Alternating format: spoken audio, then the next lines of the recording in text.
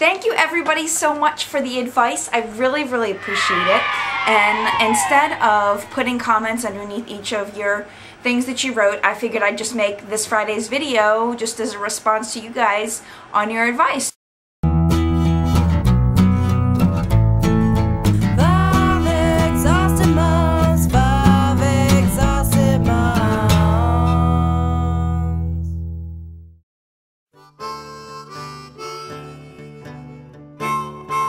This is week two of Lila pretty much screaming every moment she's awake. Parents of YouTube, I need help, please.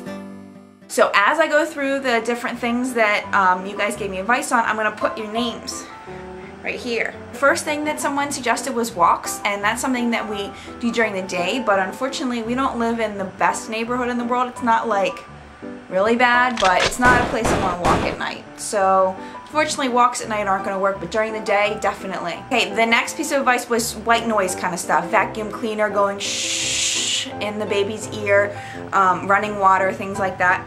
And we, I do do the shh thing, but you can only go shh so long before you start running out of breath.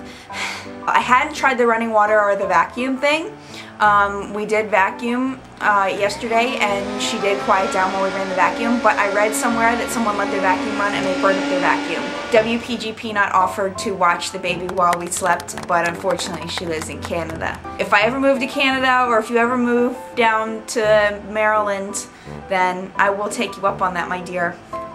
Love you, Mandy. Music, play music for the baby. We did start doing that. Um, I don't know if it helps her feel better, but um, my pediatrician said that it's good for her noggin, for her brain, so we have been playing a lot of music for her lately. She used to really enjoy Phil Collins, randomly. The swing, we have a swing, um, and she doesn't seem to really care about the swing. She, I guess she likes being in it, I don't know, which bums me out because I've heard wonderful things that the swings are magical and blah blah blah and I was excited to put her in it but she doesn't seem to care. Going for car rides.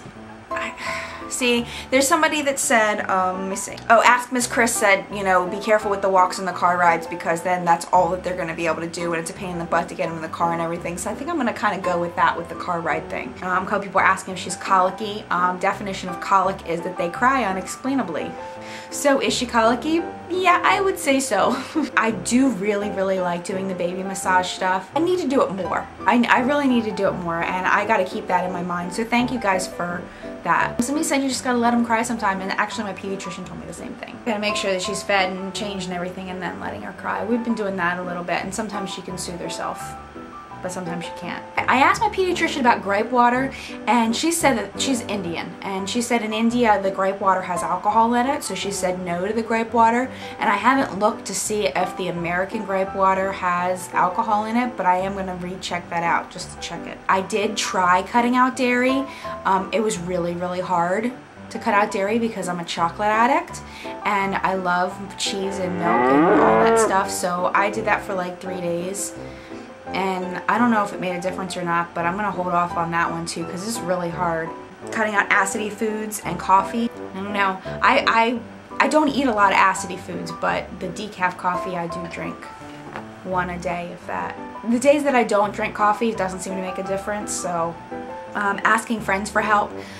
I haven't been doing that as much as I should. You're right. I should do that. Baby wearing. Baby wearing is something that I do do sometimes. Um, well, it means putting her in like a sling or a wrap and, and uh, walking her around with me. I've tried that some and it does help. Taking the baby to a chiropractor, uh, I'm scared of that. Her little bones, I'm scared, but that's something definitely I appreciate that because I'd never even thought about taking her to a chiropractor, so thank you for that. I'll have to keep that in my mind too. I'm giving her a warm bath. Um, it's kind of a process to give her a bath, and I love giving her a bath, but I don't know if I want to depend on that, kind of like with the car rides thing. She does, she loves taking baths. She seems to really, really enjoy it, so um, I'll definitely keep that in mind when she's really screaming and stuff. Earplugs, haha, Pan Piper, ha ha ha. Pan Piper is one of my longest, longest, oldest subscribers, so hi, earplugs. The book, The Happiest Baby on the Block, and the five S's, which was like swaddle, swing, shh, something. There's five S's. Um, I am going to look for that book I'm going to buy it because I've heard that book is awesome. Rice cereal in the bottle, I don't know if she's too young for that. She might be too too newborn for that. I've heard of that for like older babies that are like three and four months, but I don't know if that's appropriate for her age. Putting her on top of the dryer. Thing is, is our we have one of the stackable dryers. So I can't put her on the dryer because the dryer is on the top, so I have to put her like way up high. So unfortunately, that's not going to work for the setup of the dryer that I have. But that is a good idea. Jack Daniels with water in the bottle. No, I'm not going to put Jack Daniels in her bottle. Thank you very much. I know you're just kidding, but no. Somebody said something about a pacifier and dependency on the pacifier. I, I, I really believed that, um, and I did not want to give her a pacifier at all. But the pacifier is so magical, I don't think that I cannot give her the pacifier.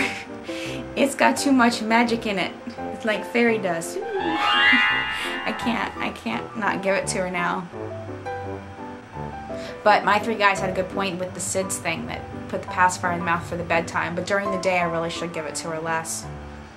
But the one thing that actually did work this week, and that was gas medicine. Um, we gave her Mylicon drops in her uh, in her bottle, and that seems to be really, really working. And as you can hear, she's sleeping peacefully, and um, I can tell it's working because when she, uh, when after I give her the Mylicon drops, a little while later, you just hear this big and this big old poop and this big old fart and it's awesome.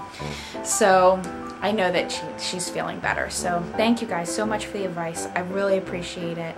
And I love you guys and thank you, thank you, thank you, thank you. And I'm sure I'll have more questions for you soon. Mad love. Have a good week. Bye.